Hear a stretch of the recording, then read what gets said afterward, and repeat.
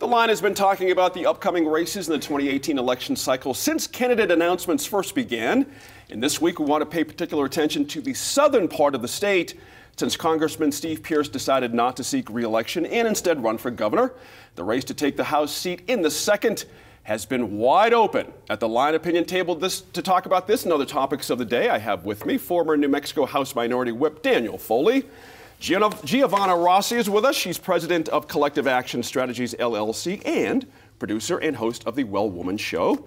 Lonna Atkeson is here. She's a professor at the UNM Political Science Department and former state senator. Eric Griego is here. Welcome to all. Now, Eric, this field crowded, four Republicans, two Democrats. Um, let's talk about the Democrats first. We've got an adjunct professor of history, Madeleine Hildebrandt, Coast Guard veteran, president, resident of Socorro. She's running against Xochitl Torres Small. She's a native of Cruces and an attorney. And they both say they got in the race because they were sick of sitting on the sidelines. Very interesting. You hear that a lot about politicians. They want to get in there and just kind of do their thing. However, it's an interesting district. It's been in Republican hands for a long time, save for one little two year period. Democrats have a chance down there at this point. Is there something in the air that makes this cycle a little bit different than last time?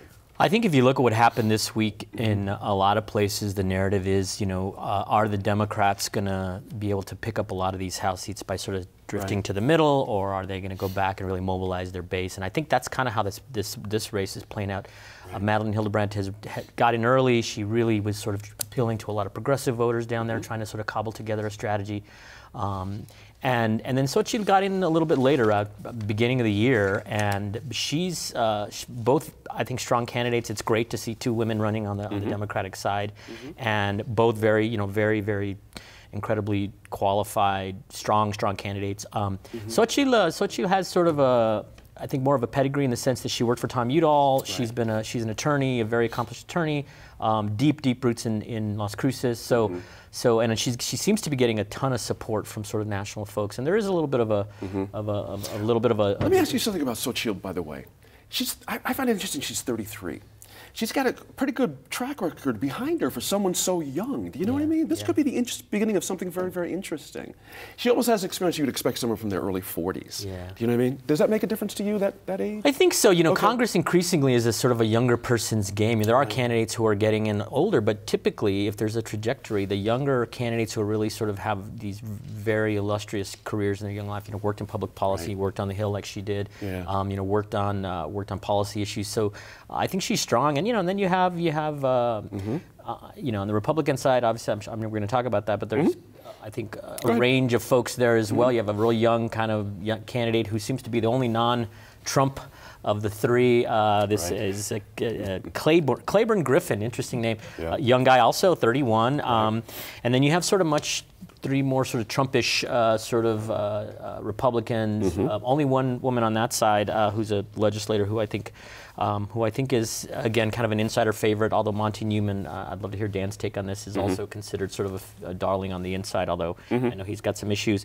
So that's, let, let that's me actually, Dan on that then. Yeah, yeah that's a good yeah, point. The Republican side seems to be a little bit more interesting than the Democratic yeah. side to me in terms of who's going to come out of that primary. Good so. point there. Eric's opened it up all of us, for all of us, for both Republicans and Democrats here, but just to get to that Republican side of things, as Eric mentioned, Gavin Clarkson, he's a Mexico State business professor, Former Trump uh, official Clayburn Griffin was mentioned, digital marketing specialist from Lovington.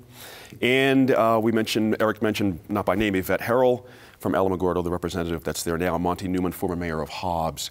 That's not a bad field when you think about Republicans down there. You got to think that Republicans might be feeling, well, we have a leg up here.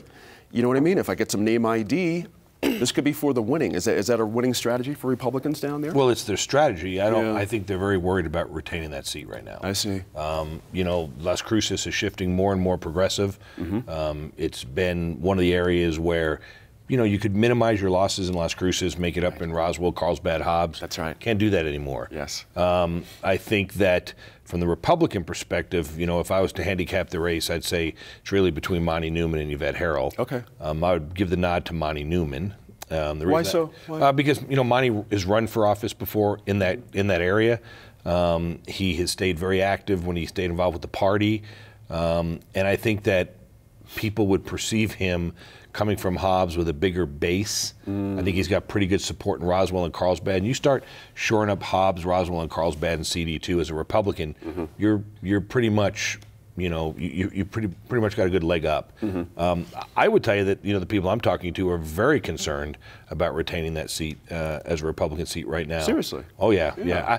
I, I, I'm not sure that it's the quality of either group of candidates. Okay. I just think it's turning it's turning more and more progressive and more and more Democrat. Right. Um, I think you know the border issues are really um, uh, enticing and, and, and encouraging folks from the left to get out and vote. Um, I think that you're seeing uh, Cruces take more and more of a stand with people like Cervantes running for governor.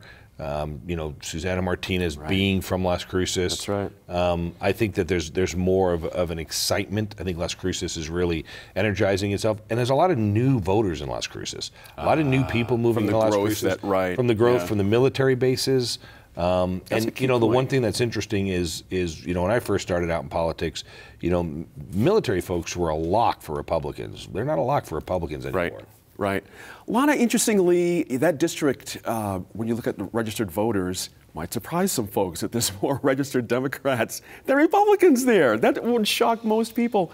But yet it's considered a, f- you know, a Republican area. How, wh- how does that all work in CD2? It's Well, they're conservative confusing. Democrats. Okay. So, you know, even if we think of the Democratic candidates who are on the ballot, they're both pro Second Amendment. Uh, you know, Right. John Arthur Smith's another real pro Second Amendment guy. So there's a lot of template, right. Democrats sort of down in our southern area that are are um, a little more conservative than mm-hmm. we think of Democrats sort of statewide. Yeah. So that's really important. I think that there is an opportunity for the Democrats to take this race, given the sort of you know characteristics nationally. We have an mm. unpopular president; those things really matter. Mm-hmm. Um, the fact that the governor isn't popular, you know, Republicans are, are, are not popular right now, and so Right. there you know is more energy on the Democratic side. So there is a possibility. Um, you know, especially with what happens possibly in the governor's race and how that might trickle down. Good point. These other other races point. might influence that. Yeah. You know, Giovanna, when you think about it, that district is so enormous. And again, it catches most people off guard, especially if you're new here, that all the way north to Las Lunas, do you know what I mean, make, makes up part of CD2. It's a very, very odd district that way. And I'm curious if you will pick up what Lonna and Dan just spoke about. Is, is there enough progressive base starting to grow there and, and enough Yeah. interesting little circles in CD2 to be a factor in some way? Yeah, and I mean, I'll echo what's been said, which is I think it is in play for Democrats. Um, I actually ran, I was the communications director for a congressional campaign down in Las Cruces 20 years ago. Um, and it was very different, right? It was very different then. Like, we didn't have a shot. I mean, it was Right. a good experience for me coming out of graduate school and that kind of thing, but like, we mm-hmm. really didn't have a shot. I think the Democrats now really have a shot at it, and I don't think it's just that there are more progressive voters, and, and so I, I think it really is like, we have a president who is really not popular, and so let's mm-hmm. let's not miss you know that point. Um, and so with his popularity, you know, tanking, and then Democrats being really energized, mm-hmm. and also I think it's super exciting for women right now in, in mm-hmm. the country and mm-hmm. in our state and in Las Cruces. And mm-hmm. so um, having two uh, women in the primary is awesome. I think we could see a woman come out of the primary i- on the Republican side and then have mm. an all-female race. Would be very interesting. Um, so I'm, I'm excited for, for that, to watch that. It's a little bit of time we have left here, Eric. Uh, there's some, I want Dan to get on this too. There's a feeling out there amongst some Republicans that if this primary stuff tilts way too far to the right, you got problems coming up in the general. You're going to basically hand a lot of things to Democrats. Do you see that happening in this race? Are we part of that swirl in this race? I don't see any particular fire-breathing Republican down there who's looking to, you know, lay waste to the area. Do you know what I mean? I don't see anybody really particularly that way. But are we in Well. I, I think you know a lot of folks, myself included, think Pearce has been sort of out of step a little to the right of the district, and the district, is, as Dan said, has is trended increasingly, you know, to a much more moderate district. It's Right. not a hardcore conservative district. There are definitely parts of it, but it's it's you know it's, it's kind of a swing district. Um, but I, I am I am uh, concerned that that at, at least two of these candidates, the, the two leading candidates, Monty Newman and, and Yvette Herrell, uh, Representative Herrell, are, are you know they're on the on the border wall on That's right. immigration issues. Are I, I think pretty pretty extreme given that that's a, a heavily Hispanic a lot of um, a lot of Hispanic Democrats and Republicans down there. And um, so I do think they're pushing sort of to the right edge of that district which might, and if they come out of it I think that will be to, to, to well, will definitely favor the, the Democrat, whoever comes out of Democratic primary, right? Do you, do you see that the same as Eric is saying? Is, is there Um, I- I something down that, there? I think that I think that the Republicans, most of them are, are running on the old school Republican philosophy. I think that they're, you know, they're they're staying to the right, right of center. Um, I think that the Democrats are clearly stepping in to be left of center, which I think is going to. is there an equal danger there? Uh, I don't think so because I don't Okay. think they're running left. I think they're left of center. The Repu- Republicans are running further right of center. Um, I think mo- more importantly uh, as well, I think what's going to have a big impact. You know, the, the conversations about President Trump. You know, the one thing about President Trump, he's up, he's down. He's up, Right. he's down. and if he's up. You know, when it comes to the general election, the last month and a half leading out, he frees more people from Korea, does some stuff that he's done. Sure. I think it, I think it'll help Republicans. If he goes back in the tank on Stormy Daniels, it's going to be a it's going to be a bloodbath for Republicans. There you go. Wait, but go go ahead, Jimmy. add because I think it should talk a little bit more about the women because Sure. uh, it, it's been such a big deal for, for women in politics in the last couple of years, right? And, and mm-hmm. just in the country. So I think there's a real opportunity in the Democratic primary for women to really come to politics and come to the election with their whole selves, mm-hmm. Which we haven't really seen before. I mean, you mean Hillary by that? Clinton. I'm curious. Well, women tend to have to leave their personal lives at the door when they go to work or, or enter the political arena. And we saw Hillary Clinton do that, and she, she sort of had to do that, but it, it didn't work for her.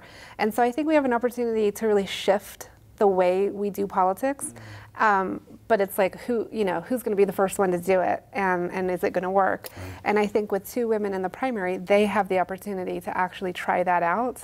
Um, and bring bring more of being a woman Yeah. and not having not not trying to fit into the male dominated Mm-hmm. um, picture that has has historically been presented in politics. Mm-hmm. Good way to put it. It's interesting when you have two female candidates, isn't it? This could, it changes the dynamics markedly. That we'll, we're going to cover, by the way, CD1 a little bit down the road, not here tonight, but uh, as the weeks go on, so don't fret about that. When we come back to the line, we'll look at paying for private school textbooks with public money.